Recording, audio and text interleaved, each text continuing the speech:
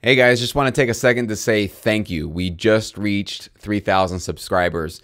And I know you might be thinking, big deal, 3,000. Why are you even celebrating that? You know, you have to wait till you get to 50,000 or 100,000 and then you can throw a celebration party. I disagree, and I'll tell you why I disagree. Um, this is something that can relate to you and your career and your music licensing career, okay? It's important to remember and celebrate your little wins. Okay.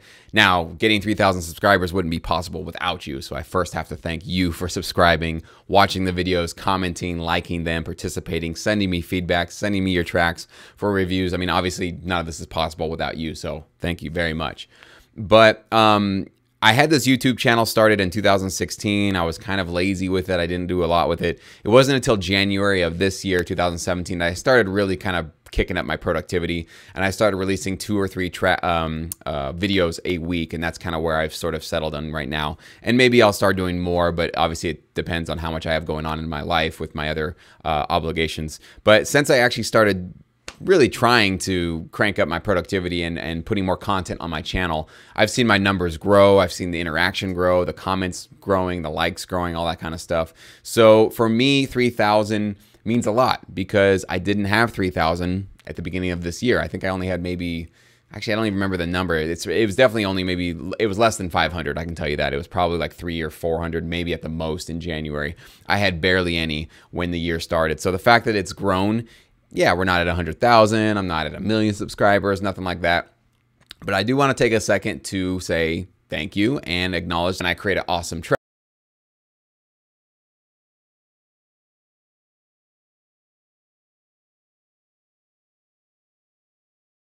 Track or I secure a contract with somebody or I even get just another couple of tracks into a library's catalog um, or get even a couple of small placements here or there. They might not be massive, huge, big wins, but I want to take a second to acknowledge when a win is a win, right? When I've actually accomplished something, when I've succeeded at something that I put my mind to, when I've completed a track that I thought was a little bit difficult or I just love the way it sounds at the end of it, you do need to sort of congratulate yourself along the way. Give yourself those rewarding moments of just bask in the glory a little bit. I mean, this industry and creating music for a living is hard enough. You guys know, like the struggle you go through every single day. So give yourself a break here and there, okay? They don't have to be massive, big accomplishments. You don't have to score a, you know, a six-figure contract with a licensing gig to throw yourself a little party, even if it's not a real party you throw. Just internally, just go, you know what? That was really cool. That was that was great. That was re- that was you know job well done essentially. And treat yourself, right? Give yourself a little pat on the back for even just little accomplishments that you do along the way, because you do need to become your own best you know biggest cheerleader essentially you know other people in your life they might be cheering you on maybe they're not but if they are and hopefully you have some supportive people around you that are giving you encouragement that's really awesome but really at the end of the day you are in your head by yourself okay you are really by yourself in this industry. And so you really need to be your own best cheerleader. Um, sometimes we are too harsh on ourselves. We critique ourselves too much. We beat ourselves up too much for sure. A lot of negative self talk is a big issue in this business that people talk themselves out of going for because they don't feel like they have what it takes. They don't, they know that there are other people that are more talented and they just don't think anybody's going to accept their music. There's enough of that going out there, right? And so um, take your little wins, right? Even if it's as small as you figured out how to make your, you know, kick drum punch through your mix a little bit harder, or you got your track to be a, just a little bit louder than it normally is. Those are wins, okay? And those are tiny little things. And as far as for my career, it's been really important that I take the time to acknowledge those wins, okay? Because what you're gonna do is you're gonna start encouraging um, a sort of a positive abundance mindset where you're basically now every time you accomplish little things that help you along your way and remember you will not get to success overnight. You're going to stack up success in, in terms of tiny little wins that stack up throughout the, the weeks and months and eventually years uh, producing music right? So you need you have to create sort of a system in your in your mind where when you succeed right even if it's a small little step towards your ultimate goal of doing this full time give yourself a round of applause. Give yourself a little attaboy, however that is. You know, got to go get a candy bar. You want to get yourself a nice, uh, whatever, delicious coffee drink or something like that. Give yourself a little bit of a like, there you go. You're on the right path. Um, and that really will help you, even when you're not really feeling motivated and you're not really feeling like you are making a lot of progress.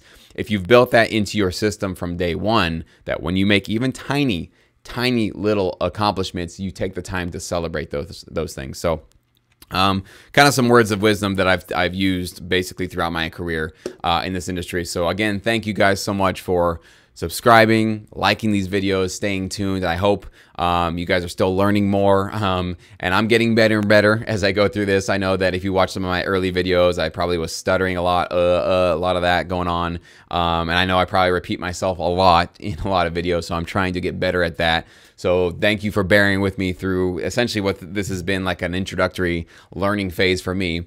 Um, you know, and remember, no matter what you do, you're gonna suck at it in the beginning. Okay. Um, I was just talking about somebody with this that we, you know, we're trying to learn how to put together these uh, tutorials, and this guy's never done tutorials before as, as far as putting on a camera you know, showing his video screen and actually doing all this kind of stuff. And it's like, you know, if I showed you some of the earliest videos that I ever did or the first uh, tutorials I ever tried to do on my computer, even as little as basically a year and a half ago, two years ago, cringe world, ultra cringe. I mean, they're they're very very bad. They're terrible.